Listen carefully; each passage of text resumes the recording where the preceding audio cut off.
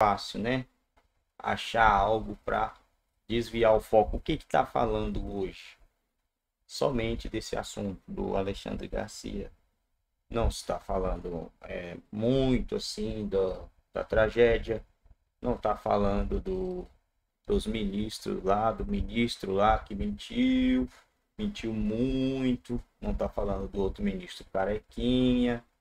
É, foi deixado para trás e agora o foco é o que? AGU, não sei o que lá, não sei o que tem, né? Por quê? É um desvio de foco para esfriar aquele assunto, para esfriar a viagem, para esfriar tudo e o foco voltar para o Alexandre Garcia, que acredito eu que isso aí não vai dar em nada, mas como eles são mestres, são mestres, pensa num pessoal mestre na política, sabe o que faz. É isso, pessoal do L. Rapaz, os caras são muito estrategistas. Tá de parabéns, né?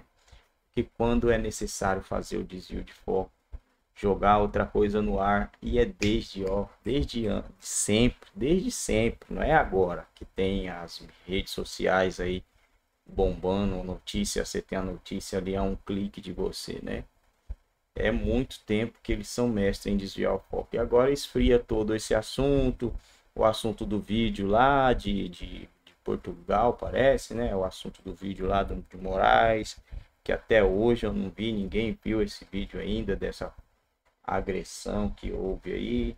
Então tudo vai sendo jogado por baixo do pano, porque eles vão desviando né, o foco a cada dia que passa, vão tentando colocar alguma coisa ali em evidência para esconder a, a realidade. Mas tomara que o Senado e os deputados consigam fazer alguma coisa e colocar quem deve estar na cadeia, na cadeia, quem deve pagar Aí quem prevaricou, quem mentiu, quem enganou, né? Tem muita coisa aí por baixo dos panos que precisam ser descobertos.